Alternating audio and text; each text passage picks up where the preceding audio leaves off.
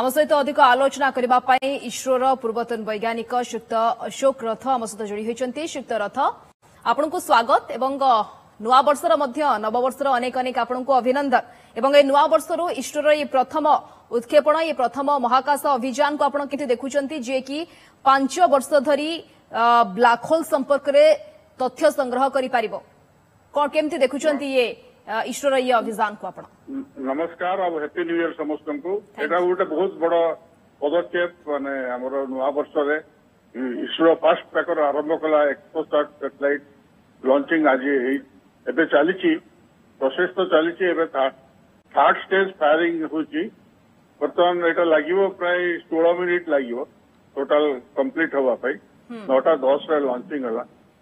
तो यहाँ गोटे बहुत बड़ ये आप परे ଇଏ ବି ଅଛି ସେ ଆଦିତ୍ୟ ଏଲୱାନ ପହଞ୍ଚିବ ଜାନୁଆରୀ ଛଅ ତାରିଖରେ ତାପରେ ଗଗନଯାନ ଅଛି मंगलयान टू अच्छी बहुत किसी प्रोग्राम ये जो एक्सरे पालोरिमिटर सैटेलाइट ए विषय जाना चाहबू जे यार विशेष भाव कार्य कौन रतबे महाकाश को जीव कौन कौन कार्य रशेष भाव में वैज्ञानिक मानू के क्षेत्र में ये साहय कर ଏଠି ମେନଲି ଦୁଇଟା ଅଛି ଗୋଟେ ହଉଛି ପଡ଼ୋଶ ଯେଉଁଟା ସାଟେଲାଇଟ୍ ମେନ୍ ସାଟେଲାଇଟ୍ ହଉଛି ସେଟା ହଉଛି ଏକ୍ସପୋସାଟ୍ ଏକ୍ସପୋସାଟ୍ ହଉଛି ମାନେ ପୋଲାରିମେଟ୍ରିକ୍ ଏକ୍ସରେ ପୋଲାରିମେଟ୍ରିକ୍ ଏକ୍ସପେରିମେଣ୍ଟ କରିବ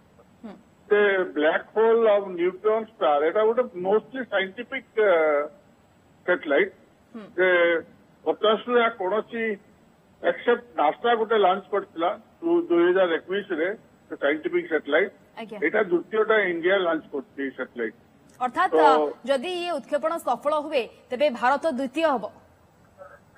দ্বিতীয় হব এই সাইন্টিফিক স্যাটেলাইট ডেভেলপমেন্ট আজ্ঞা এটা এটা গোটে গোটে নয়া এক্সপেরিমেন্ট আমার যে বড় বড় black holes holes neutron star star তার লাস্ট লাইফ র মানে তার ইয়ে তার জিওমেট্রি କଣ তার रेडिएशन पैटर्न केमती कौन लाइट एमिशन कर विषय सब सैंटीफिक तथ्य दब जोटा कि बहुत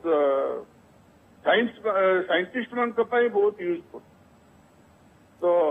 यहां गोटे बड़ साटेलैट एक्सपो सैटेलैट चार्जाटा कि साढ़े चार सौ किलो ओजन रैटेलैट तापर आउ दसटा सैटेलैट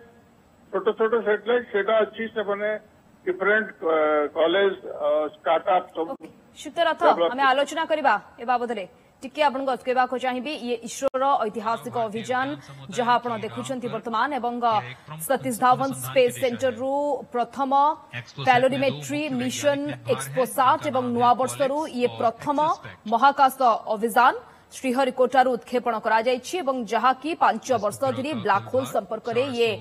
तथ्य संग्रह करि पारिबो एवं जदि श्रीहरिकटार ओ जो एक्सरे पैलोरिमिटर साटेलैट जदि भारत मिशन आम देखा जदि सफल तेज विश्वर द्वितीय देश हम भारत जो नक्षत्र संपर्क में अत्याधुनिक पर्यवेक्षक स्थापन सफल हो पार इस मिशन में लगभग 145 केजी के वैज्ञानिक निर्भर अंतरिक्ष प्रयोगों के लिए सफर कर रहे हैं इन्हें अंतरिक्ष प्रयोग थ्री का नाम दिया गया है सर्वप्रथम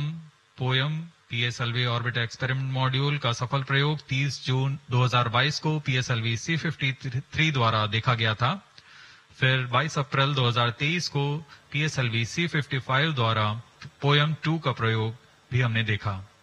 आज इसी कड़ी को आगे बढ़ाते हुए पोयम 3 के प्रयोग किए जाएंगे जी हाँ इसकी पुष्टि हो चुकी है तृतीय चरण को यान से पृथक कर दिया गया है separated hosting for approximately 425 seconds. Plus 10 minutes. तृतीय चरण के पृथकन के पश्चात चतुर्थ चरण के प्रज्वलन में अभी समय है और इस दौरान पीएस फोर का कोस्टिंग फेज जारी है यह करीब 400 सेकंड तक जारी रहेगा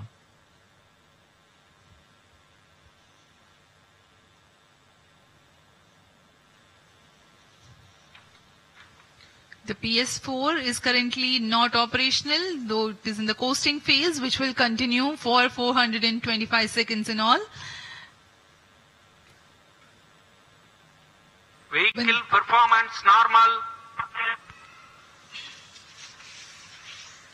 The PS4 stage, when it ignites, will continue to burn for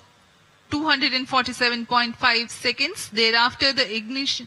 the injection parameters of the spacecraft Exposat will be achieved.